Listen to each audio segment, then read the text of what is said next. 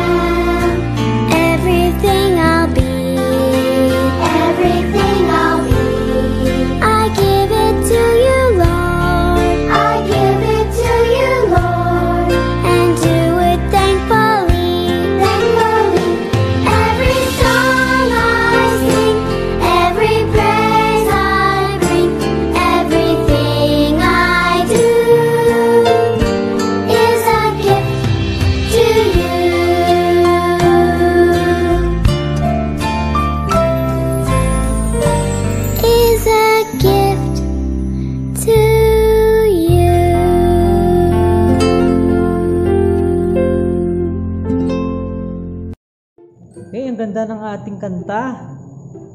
A gift to you. At ngayon, ihanda na po natin ang ating puso at isipan sa pakikinig ng story. Ang malaking pagsubok ni Abraham. Nangako ang Diyos kay Abraham na magkakaroon siya ng isang anak na lalaki na magiging simula ng malaki niyang angkan. Ngunit si Abraham at ang kanyang asawang si Sarah ay napakatanda na upang magkaanak. Dalawampung taon ang lumipas. Pero nagtiwala pa rin si Abraham sa pangako ng Diyos. Nang siya ay isang daang taong gulang na at si Sarah naman ay siyam na po, pinaalala ng Diyos ang kanyang pangako. Si Sarah ay magkakaroon ng anak. Nang ipinanganak ang kanilang anak na lalaki, si Sarah ay tuwang-tuwa. Binigyan ako ng Diyos ng sobrang kasiyahan. Sinabi niya. Kaya pinangalanan nilang Isaac ang kanilang anak. Na ang ibig sabihin ay, siya ay tumatawa. Noong si Isaac ay malaki na, iniutos ng Diyos kay Abraham na dalhin si Isaac sa bundok ng Moraya at ihandog sa kanya. Naguluhan si Abraham, ngunit nagtiwala pa rin siya sa Diyos. Binuhat ni Isaac ang mga kahoy at dinala naman ni Abraham ang patalim at apoy. Sabay nilang inakyat ang bundok. Nasaan ang iahandog nating tupa? Tanong ni Isaac. Ang Diyos ang magbibigay. Sagot ni Abraham. Inayos ni Abraham ang mga kahoy sa altar. Tinali si Isaac at inihiga sa mga kahoy. Habang tinataas na niya ang patalim upang patayin si Isaac, tinawag ng isang anghel ang kanyang pangalan. Abraham, huwag mong saktan ang bata. Sabi ng anghel. Alam na ng Diyos na nagtitiwala ka sa kanyang pangako. Tingnan mo ang mga halaman doon. May makikita kang tupa. Yun ang ihandog mo.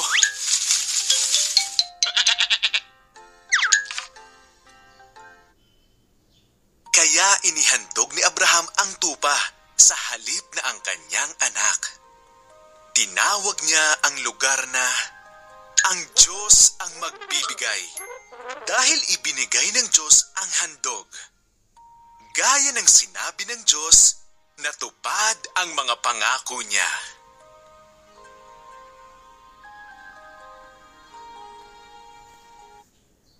Sino kayang nakinig ng story? Taas nga ang kamay kung sinong nakinig ng story. Te, talaga? Sige nga, may tanong nga si Sir Raydan kung ikaw ay nakikinig. Ang unang tanong, sino ang mga tauhan sa kwento? Sino ang mga tauhan sa kwento? At pangalawang tanong, ano ang ginawa ni Abraham kay Isaac? Ano ang ginawa ni Abraham kay Isaac? At ang pangatlong tanong, ano ang pangalan ng bundok na pinaghandugan ni Abraham kay Isaac? Anong pangalan ng bundok na pinaghandugan ni Abraham kay Isaac? Yan po ang tatlong tanong na inyong sasagutan. At ang ating memory verse sa araw na ito ay matatagpuan sa Proverbs 3:5a. Sabi niyan, Trust in the Lord with all thine heart. Trust in the Lord with all thine heart. Sabi ng ating memory verse na magtiwala lang tayo ng buong puso natin sa Diyos. Yan ang ginawa ni Abraham na pag-sacrifice niya sa kanyang anak na si Isaac.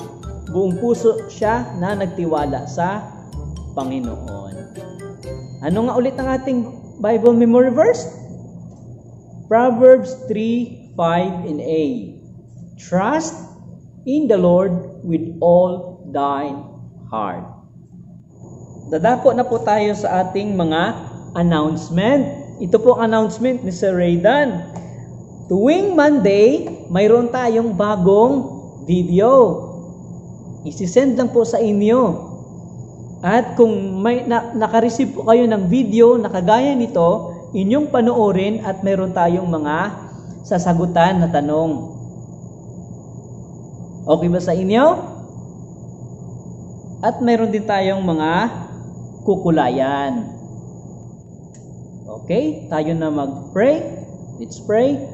Father God in heaven, thank you po sa araw na ito. Salamat sa bagong story na amin napakinggan about po sa life ni Abraham and ni Isaac at ni Sarah na si Abraham po ay nagtiwala sa inyo sa buong puso niya.